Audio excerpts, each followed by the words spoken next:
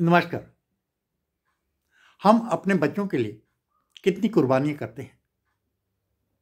एक इंसान अपने बच्चों के लिए क्या कुछ नहीं करता?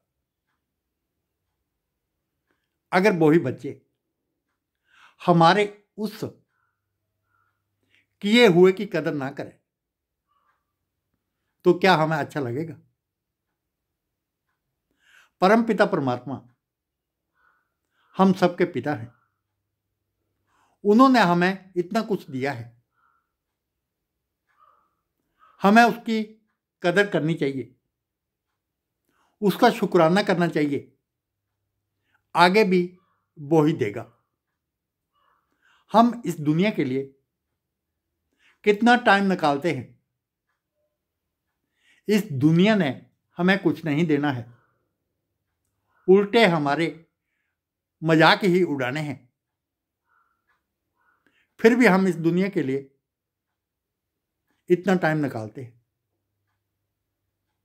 उसने साथ पहले दिया है। अभी भी वो ही दे रहा है और आगे भी वही देगा। फिर भी हम इंसान उसको भूलकर बैठे हैं।